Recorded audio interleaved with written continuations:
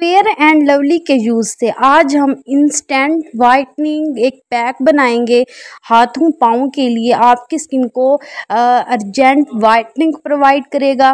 Aslam welcome back to my channel viewers आज मैं आप लोगों के लिए हाथों पाँव को गोरा करने के लिए एक बहुत ही यूज़फुल सी रेमेडी लेकर आई हूँ, जो कि फेयर एंड लवली से बनेगी। आपने बहुत सारे यूट्यूब पे ये वीडियोस देखी होंगी, ये पैक बनाते हुए हम थोड़ा सा इसको यूनिक तरीके से बनाएँगे और इस, और इसके रिज़ल्ट भी आपको डबल मिलेंगे। तो सबसे पहले हमें चाहिए फेयर एंड लवली का एक चम्मच। हमने ले लेना है यहाँ पर। फेयर एंड लवली हमारी स्किन को बहुत ही वाइट एंड ब्राइट ब्राइटन बनाने में मदद देती है। ये टीन एज गर्ल्स भी इसको यूज़ कर सकती हैं, लेकिन सिर्फ़ हाथ और पाँव पे इसको यूज़ किया जा सकता है। ठीक है जी, इसको फेस पर भी यूज़ कर सकते हैं। अगर आपकी स्किन बहुत ही ज़्यादा सांवली है, अगर आपका कलर बहुत ज़्यादा डिम है तो इसको फेस पे भी यूज़ किया जा सकता है। लेकिन एटीन प्लस के ऊपर जो गर्ल्स होंगी ना, वही यूज़ करेंगी। ठीक है जी, इसको हमने अच्छी तरह से मिक्स करना है। उसके बाद हमें चाहिए यहाँ पर इसको थोड़ा सा हमने लिक्विड ही बनाना है। ठीक है जी, इसमें हमने अर्क के गुलाब ऐड करना है। के गुलाब हमने तकरीबन दो से तीन टेबल स्पून इसमें ऐड कर देने हैं।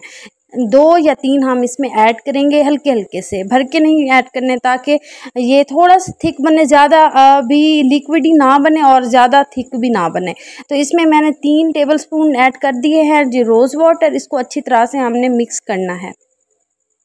उसके बाद हम इसमें ऐड करने वाले हैं जी ए, लेमन लेमन हमारी स्किन को ब्लीच करेगा स्किन को पॉलिश करेगा हमारी स्किन को वाइटन एंड ब्राइटन बनाएगा हमारी स्किन से तमाम जो टैन होगा उसको रिमूव करेगा. देन हमारी स्किन बहुत ही ज़्यादा वाइट एंड गोरी और बहुत ही पिंकिश सी हो जाएगी. ठीक है जी हमने एक बड़ा या छोटा नहीं एक छोटा लेमन लेना है उसको सारा आपने स्क्रीज कर लेना है. अगर आप फेस के लिए बना रहे हैं तो आपने तकरीबन पाँच से छः कतरे ही ऐड करने हैं। ज़्यादा ऐड नहीं करना, ये हम हाथों और पाँव के लिए बना रहे हैं तो हमने एक पूरा इसमें ऐड किया, कर दिया है। इसको हमने अच्छी तरह से मिक्स करना है। लेमन डालने की वजह से ये पैक थोड़ा सा फट जाएगा तो इसको हमने अच्छी तरह से मिक्स करना है। बहुत ही इसमें कोई भी लम्स गुठली वगैरह ना रहे। बहुत स्मूथ सा ये पैक बन जाए। थोड़ा सा लिक्विडी हमने रखना है, ताकि हम जब मिसाज करेंगे, अपने फेस पर जो अच्छी तरह से ये मिसाज हो सके। इसको अच्छी तरह से हमने मिक्स कर लेना है।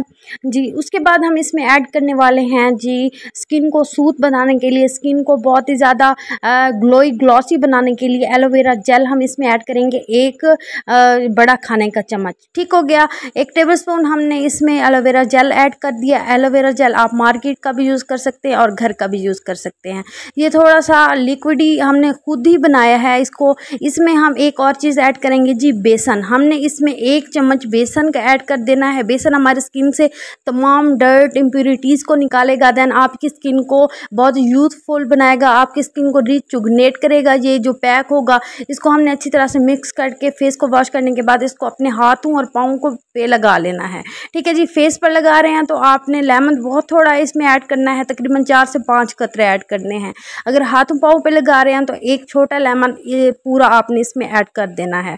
ठीक हो गया, इस पर इसको आपने अच्छी तरह से अपने सारे फेस पर लगा लेना है देन इसका अच्छी तरह से अपने फेस पर मिसाज करना है। अच्छी तरह से तकरीबन दो मिनट आपने थोड़ा थोड़ा आपने पैक लगाते रहना और इसका मसाज करते रहना है। थोड़ा थोड़ा आप इसको लिक्विडी सा होगा तो आप लगाते रहेंगे और इसका मसाज करते रहेंगे अपने फेस पर या लगा रहे हैं या अपने हाथों और पाँव पर बॉडी के किसी भी पार्ट पर लगा रहे हैं तो इसको अच्छी तरह से आपने मसाज कर लेना है। उसके बाद बीस मिनट का वेट करना है। बीस मिनट के वेट के बाद जब सूख जाए तो आपने इसको उतार लेना है। इसका रिज़ल्ट बहुत अच्छा आया था।